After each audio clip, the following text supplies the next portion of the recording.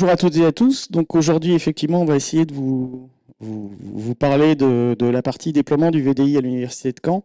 Donc avec un petit titre, voilà, qu'on a voulu un peu humoristique, mais bon, c'était pas forcément humoristique.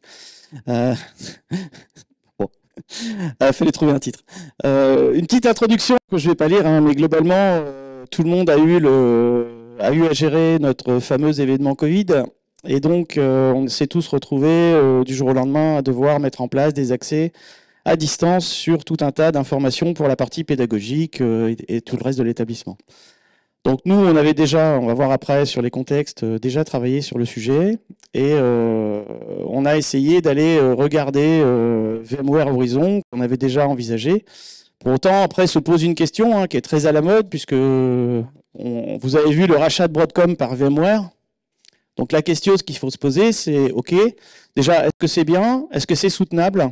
Et puis après, on va essayer de regarder si on peut pas avoir un angle aussi euh, un petit peu euh, à la mode, mais qui peut nous servir en tant que DSI de pouvoir éventuellement euh, faire évoluer des pratiques, qui est la réduction de l'empreinte carbone, quelque chose à la mode, et on a des VP qui commencent à, à nous pousser sur cette partie-là. Enfin, en tout cas chez moi. Je sais pas chez vous, mais chez moi, ça commence à pousser.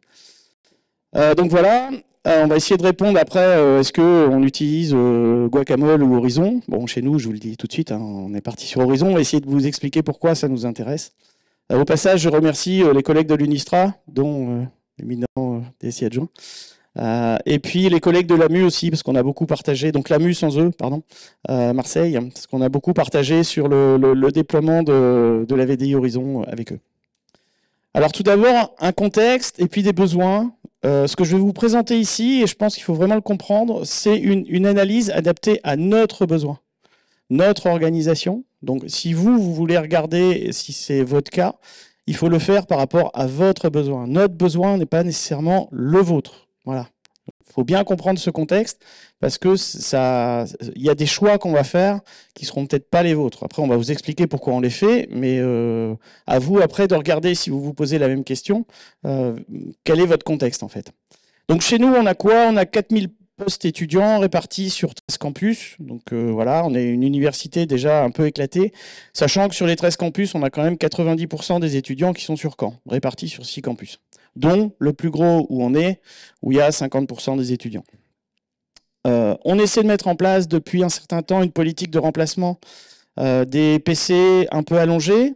Euh, avant le Covid, en 2018, on avait globalement une politique qui était on remplace à peu près tout, tous les 5 ans.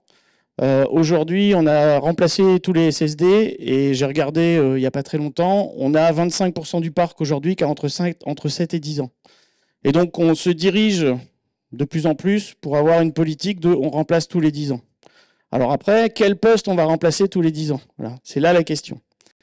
Euh, aujourd'hui aussi, on, déploie chez nous euh, toutes les machines par SCCM. Voilà, c'est un fait, c'est notre outil de déploiement.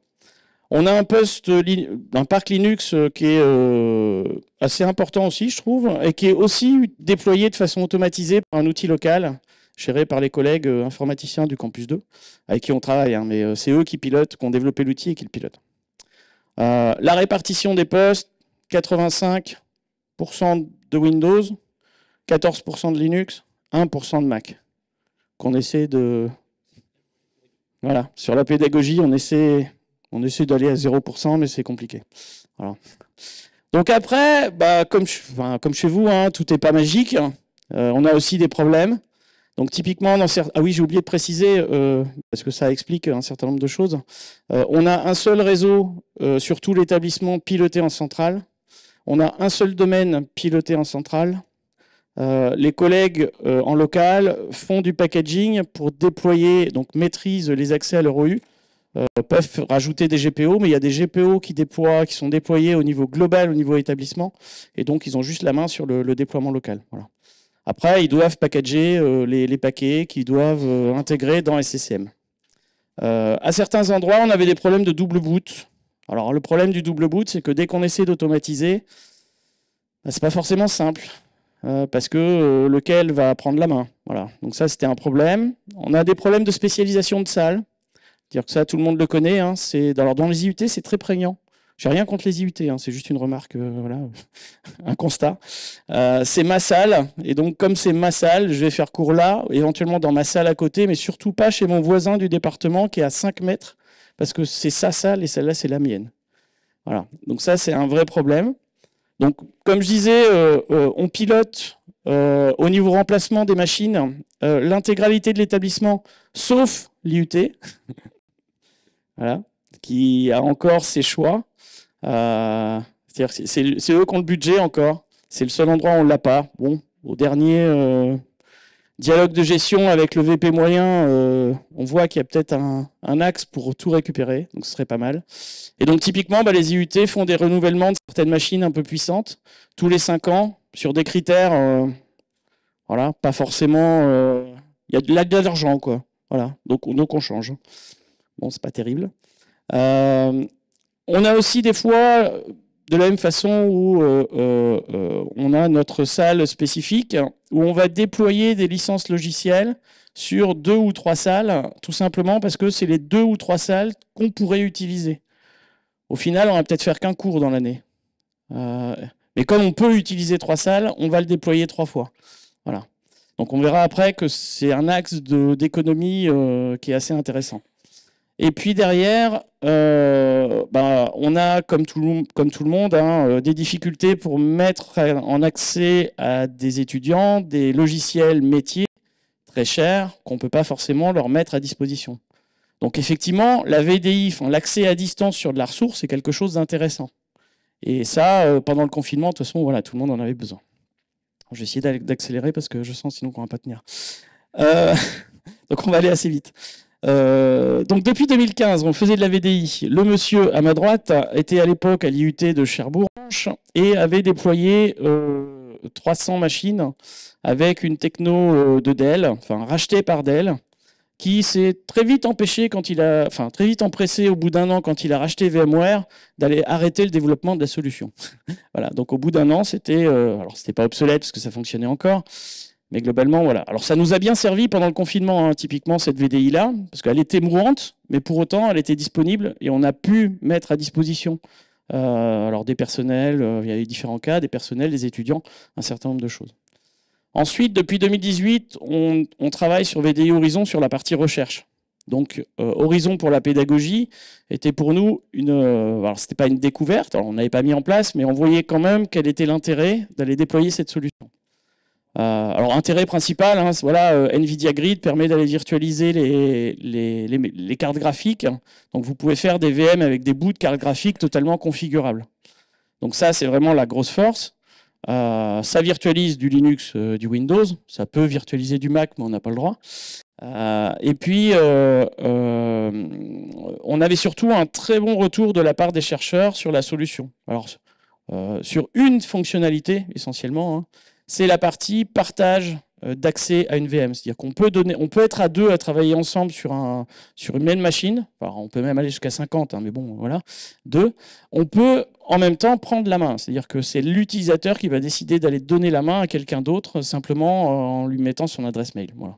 Alors, faut que ce soit en interne euh, du SI quand même, faut que ce soit connu du SI, mais pour autant, on peut vraiment faire du partage et c'est la fonctionnalité, alors qu'on ne pensait pas à ça au début, qui vraiment fait toute la différence. Et ça fait aussi la différence pour la pédagogie. On a aussi utilisé autre chose, euh, donc euh, du open source. Hein. on commence toujours par regarder ça. Donc on a essayé Ravada, je ne sais pas si certains connaissent. Alors on l'utilise encore. Euh, pourquoi? Pour des besoins très très particuliers, euh, toujours pour les IUT, euh, sur des TP où il y a besoin d'avoir des accès routes, sur des machines Windows qui sont pas au domaine, enfin voilà, sur des choses très très particulières, et on a toujours un serveur qui traîne, et puis un certain nombre de machines qui sont là-dessus. Puis on a aussi regardé Guacamole, voilà. Alors après, on a aussi été voir des gens qui ont déployé Guacamole à plus nos, amis strasbourgeois, pour vraiment en discuter à fond avec eux. Nous, les tests qu'on avait vus, c'est que ça répondait à une certaine problématique, mais pas à tout. Et on voyait mal en fait la montée à l'échelle. Et, c'était ça notre, euh, euh, voilà, notre, vraie, notre, vraie question. Donc ensuite, euh, point fort, point faible, très très rapide. Donc les deux c'est accessible quel que soit l'OS. On peut aller soit sur un, client, soit sur un, navigateur. Ça permet de virtualiser du Windows et du Linux, donc ça répond pas mal à votre point de vue pédagogie. Euh, on a la fonctionnalité des deux côtés de mise à disposition d'une ressource physique vis-à-vis de l'extérieur. C'est-à-dire que j'ai une machine physique euh, qui n'est pas dans, mon cluster VDI, mais je peux lui donner un accès depuis l'extérieur et utiliser la, passerelle d'accès pour accéder à cette machine. Donc ça, ça répond très bien d'un point de vue recherche, par exemple, à un matériel euh, auquel on doit donner un accès à quelqu'un pour venir le maintenir, bah, plutôt que d'aller déployer les X systèmes euh, ouverts à tout vent euh, côté sécurité, bah, on le fait passer par la VDI et c'est l'utilisateur qui lui donne l'accès pour aller faire sa modif.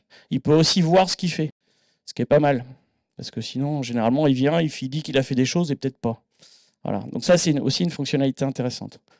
Euh, la possibilité d'instancier euh, des VM à la demande pour un groupe d'étudiants côté VMware Horizon. Alors, quelque chose d'un peu similaire côté, euh, côté Guacamole, mais quand même beaucoup moins. C'est-à-dire qu'il faut que ce soit déclaré, mis en place pour pouvoir le faire. Des API des deux côtés. Le coût pour Guacamole, hein, voilà, c'est gratuit. c'est pas gratuit pour SCCM. pour Horizon, pardon. côté Horizon, des API euh, très importante pour pouvoir piloter automatiquement un certain nombre de comportements. Et on va voir que euh, on s'est beaucoup appuyé là-dessus. On avait CCM, donc du coup, intérêt, 80% des paquets CCM sont déployables automatiquement dans la VDI Horizon. C'est-à-dire que le travail qu'on fait d'un côté, il n'est pas perdu, on ne va pas en faire un deuxième, on fait le même. Et puis la suppression des doubles boots, euh, voilà, euh, pour permettre de régler les problèmes. Donc impact, point faible, le coût, voilà, effectivement, Horizon fait le. Euh, ça change le métier des collègues en proximité. Ça, c'est un, vrai truc. Côté Guacamole, vous allez mettre un accès à un, certain, parc qui va continuer à être géré par les mêmes personnes. Euh, sur la partie euh, Horizon, vous, vous, avez une partie packaging à mettre en œuvre, toujours. mais globalement, il y a une partie des accès qui vont plus gérer, en fait, ces gens-là. Et donc ça, c'est une des choses euh, à vraiment gérer et à bien planifier la modification du métier des collègues. Alors, c'est très bien hein, parce qu'ils vont faire un peu moins de technique et puis globalement, le but du jeu, c'est qu'ils aillent plus voir les, enseignants, discuter avec eux des besoins pédagogiques réels, euh, plutôt que d'aller passer du temps à refaire des choses euh, qui sont déjà automatisables. voilà. Le besoin aussi, important, garantir la disponibilité de la ressource. Si on met en place de la VDI, la première chose qu'on veut avoir, c'est être sûr que pendant un cours, on aura bien la ressource de disponible. Alors, Cédric vous le dira, mais on est parti, nous, dans une philosophie côté, euh, horizon un peu différente des autres, c'est-à-dire que euh, à la base, on veut que la VDI serve. Donc elle est ouverte à tout le monde, étudiants personnels, euh, tout le temps, sur l'intégralité des poules. Par contre, on veut pouvoir réserver un usage à un instant T. Côté guacamole, bon, ça ne règle pas la problématique du double boot. Euh, il y a aussi besoin de garantir la disponibilité d'une ressource pendant un enseignement. C'est-à-dire que globalement, euh, bah, c'est très bien, euh, je le rends accessible à l'extérieur. Maintenant, une fois que la machine est utilisée, comment je gère l'arrêt pour une personne qui l'utilise à distance pour l'utiliser pendant un cours Enfin voilà, il y, a pas mal de, notions à, comment, gérer. Surtout, ça ne permet pas le travail à plusieurs, pour le coup, sur une même machine, à distance. Maintenant, je vais passer euh, la parole à Cédric qui va vous expliquer comment on a mis en place euh, cette partie réservation de ressources. Oui, bonjour. Alors effectivement, comme le précisait Christophe, euh, le principe c'est qu'on a laissé la possibilité aux utilisateurs de se connecter à la solution Horizon à tout moment et quel que soit l'emplacement géographique, que ce soit intra-universitaire ou bien aussi quand ils sont à domicile, donc depuis Internet. Euh, et l'idée, c'est que bah, les réflexions qui sont remontées par rapport à ça, c'est qu'à partir du moment où on en avait besoin pour un cours, euh, il fallait mettre en place un système de réservation de telle sorte qu'on soit en mesure de, fournir la ressource alors que euh, temps normal, elle peut être utilisée par d'autres. Donc ça a été le, travail à mettre en place. en termes de constat, après avoir recherché un petit peu des solutions qui pourraient répondre à ce besoin, on s'est aperçu que à ma connaissance en tout cas, il n'y a pas de solution qui permette de mettre en place une réservation des machines virtuelles Horizon. Euh, et du coup, il a fallu essayer de trouver une solution en interne pour euh, répondre à, ce besoin. On utilise à l'Université de Caen ADE pour la planification des cours. Euh, on s'est dit que, étant donné que toute la communauté utilise ADE pour planifier les cours, il était certainement intéressant d'étendre euh, l'usage d'ADE pour réserver des salles de machines virtuelles comme on pourrait réserver une salle physique. Et donc c'est effectivement euh, l'outil qu'on a utilisé, ADE, pour pouvoir mettre en place cette notion de réservation, sachant que ADE dispose de web services et que effectivement en plus Horizon au travers de euh, Horizon Volume et vCenter dispose également d'API qui vont permettre d'interconnecter tout ça. Donc la solution pour nous elle a été de développer en interne un script de synchronisation au moment où on va réserver à la ressource dans ADE avec entre ADE et donc Horizon. Euh, en termes de prérequis, au niveau d'ADE, euh, eh bien, il va falloir définir un équipement un équipement, euh, ça va être pour nous un pool de poste de travail. Donc cette information, on va la saisir dans une base de données dont je vais revenir un petit peu tout à l'heure. Euh, il va falloir associer cet équipement à une activité. Donc l'activité au niveau d'ADE, ça va être un cours. Donc euh, par exemple, vous avez 6 heures de mathématiques qui vont être segmentées en, par trois sessions d'activité de 2 heures de, maths, par exemple. Donc ça, ça va être l'activité, c'est les 6 heures de cours. Donc on va associer ce pool de poste de travail à une activité. et puis, on va ajouter comme ressource à l'activité, bien évidemment, l'enseignant ou les enseignants ainsi que les promos euh, d'étudiants euh, qui, sont intégrés. Alors il faut savoir qu'effectivement, A2E, dans notre cas, on a poussé l'usage euh, jusqu'à avoir tous les étudiants. Ça veut dire qu'un étudiant aujourd'hui, il est en capacité de voir son emploi du temps complet au travers d'A2E. Donc effectivement, on a bien toute cette information. Et enfin, une fois qu'on a fait tout ça, on va planifier les cours. Par défaut, au niveau d'Horizon, si je reviens sur Horizon, on a également mis un groupe par défaut. Euh, c'est-à-dire que euh, en temps normal, on ouvre un pool de poste de travail à une liste d'utilisateurs et ces utilisateurs sont renseignés dans un groupe Active Directory et on peut le faire évoluer comme bon semble. Autre prérequis, c'est la partie annuaire. Alors dans notre cas, ça va être l'annuaire OpenLDAP. Euh, il se trouve que quand on importe dans ADE les utilisateurs, les enseignants sont remontés par rapport à un ID qui correspond à l'ID d'une note référentielle. Par contre, pour les étudiants, l'import passe par euh, des requêtes au niveau d'Apogée et c'est le numéro de l'étudiant qui va être importé euh, dans ADE. Donc l'idée, c'est qu'on puisse interroger l'annuaire LDAP de telle sorte à savoir en fonction de l'ID du référentiel Octopus ou en fonction du numéro d'étudiant, quel est l'utilisateur qui se cache derrière et donc récupérer son identifiant, identifiant qui lui va correspondre au niveau de l'annuaire euh, LDAP à l'identifiant côté Active Directory également.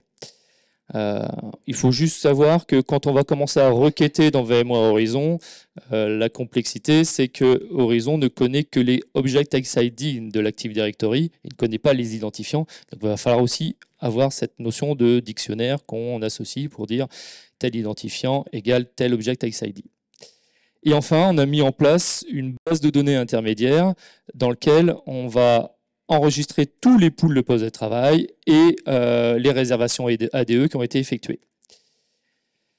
Donc le principe, c'est qu'on récupère les pools de postes de travail au niveau de l'API Horizon, on enregistre manuellement un, nom d'équipement euh, qu'on va faire correspondre à ce pool, euh, on récupère l'ensemble des équipements ADE, et enfin, on va requêter ADE de telle sorte à, euh, au travers des web services, de telle sorte à trouver ben, pour la journée des données quels sont les cours qui sont programmés avec, euh, avec euh, cet équipement et donc trouver l'heure de début, l'heure de fin et les enseignants, les étudiants ou les promos d'étudiants. En l'occurrence, c'est le plus souvent les promos d'étudiants.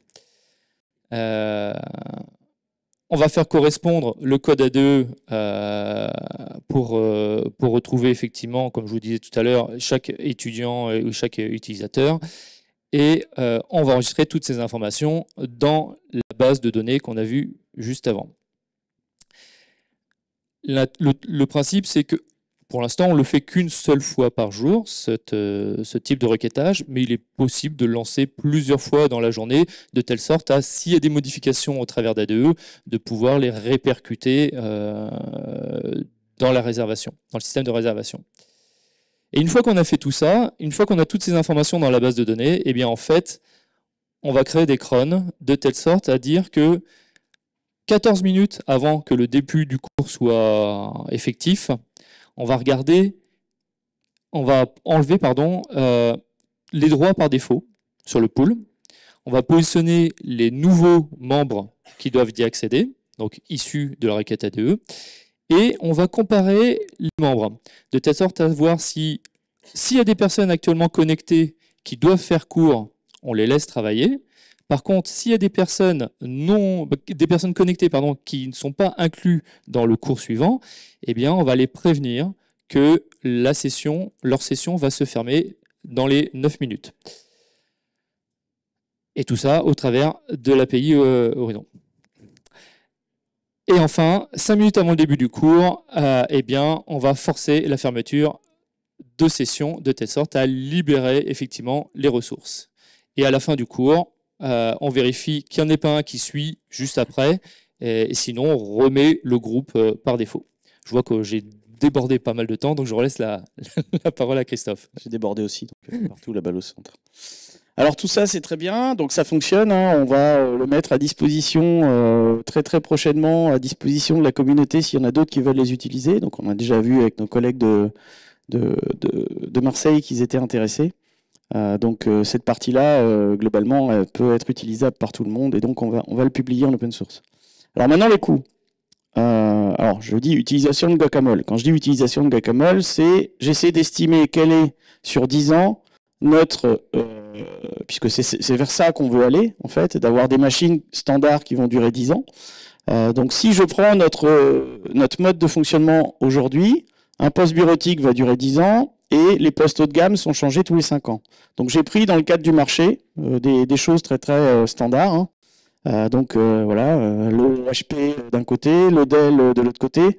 J'ai vraiment pas bougé beaucoup de fonctionnalités. Hein. j'ai juste, je suis juste passé d'un i5 à un i7 sur la machine un peu haut de gamme. c'est vraiment du, moyen haut de gamme. Hein. J'ai rajouté de la RAM, j'ai mis un petit peu plus de carte graphique. Effectivement, c'est une carte qui, enfin, une machine qui généralement va être utilisée pour aller faire de la 3D, des choses comme ça. Donc, elle est un peu plus puissante.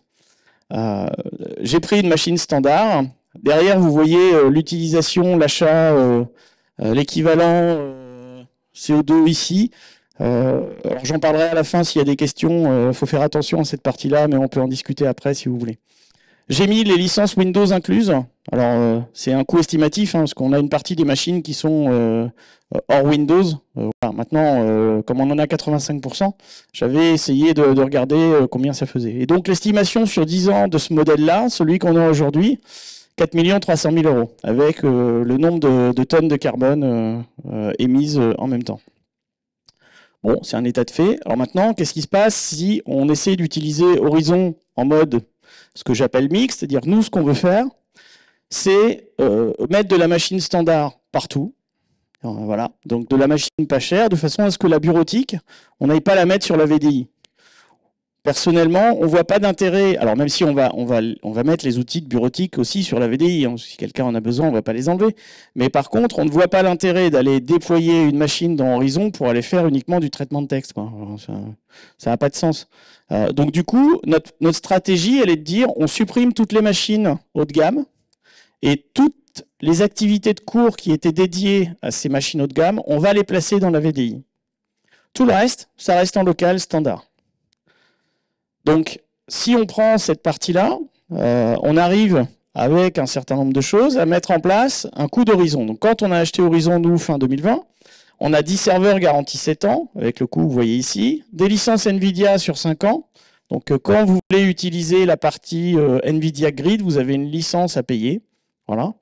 Euh, et la même chose sur la partie horizon, c'est-à-dire qu'on a pris des licences sur 5 ans. Donc c'était, le président a dit, voilà, quoi qu'il en coûte. Donc on a dit, ok, quoi qu'il en coûte. Bam.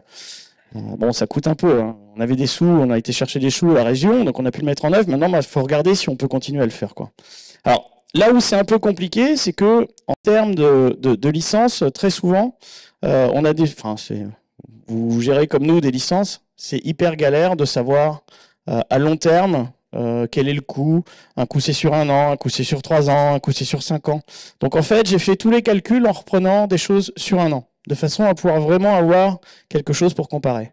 Quand on a acheté, nous, la licence Horizon était, donc il y a 18 mois, ouais, euh, un peu plus, non, 18 mois, ouais.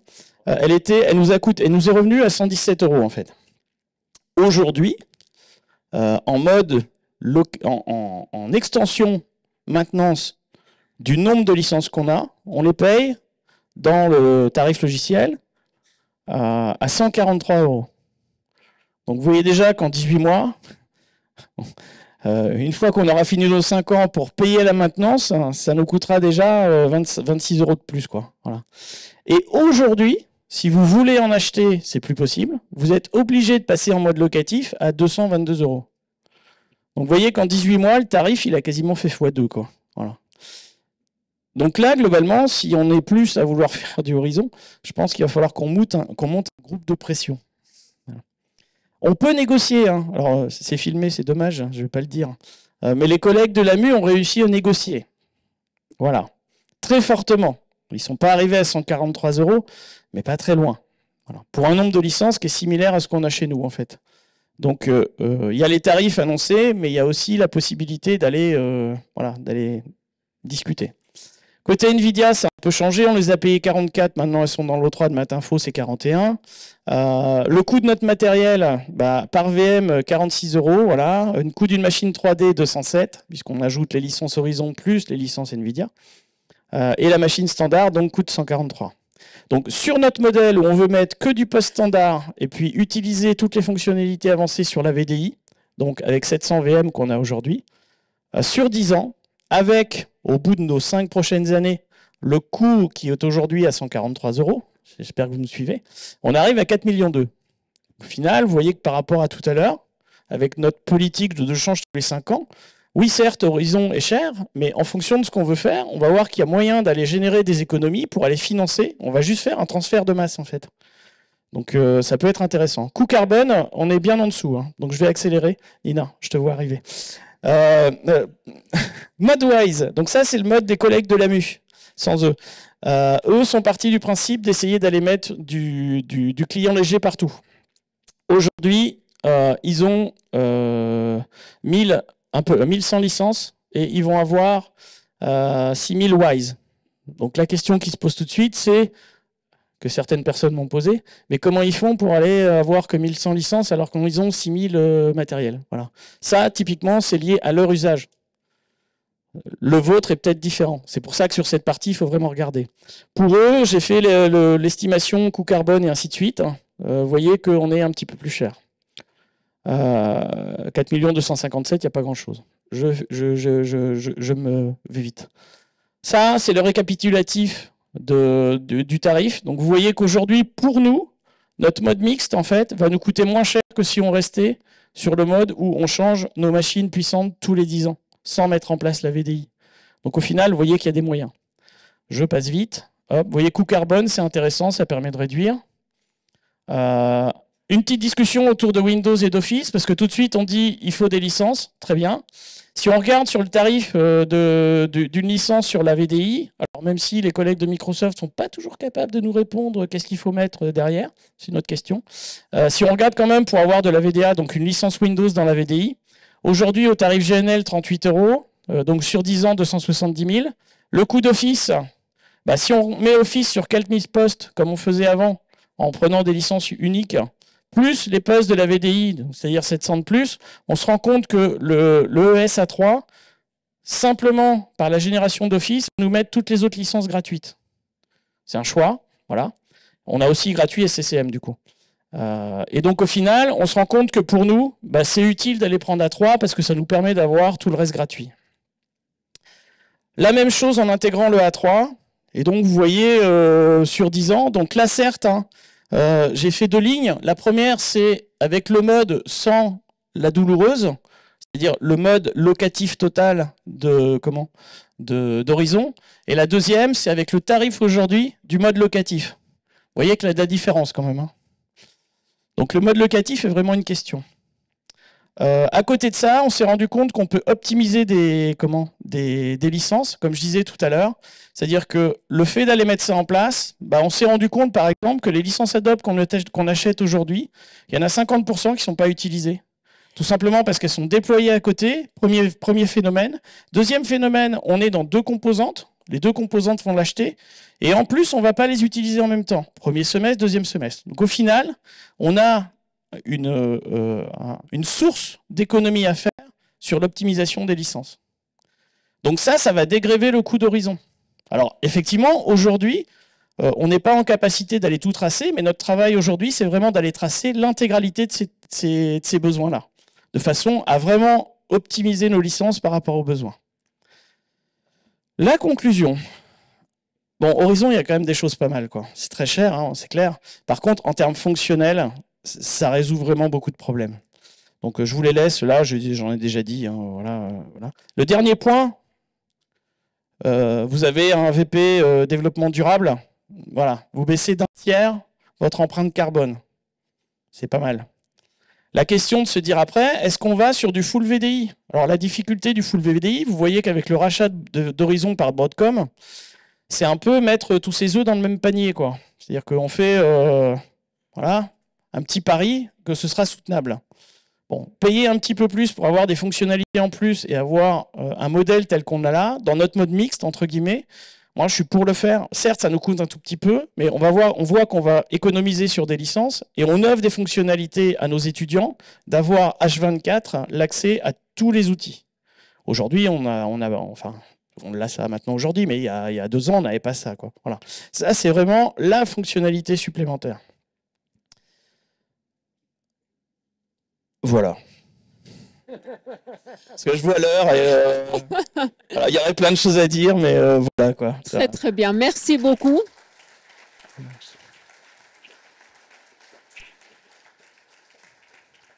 On a pris un peu de retard, mais c'est, euh, ça vaut la peine avec toutes les questions ouvertes et fermées que vous nous avez données. Est-ce qu'il y a des questions de, de la salle?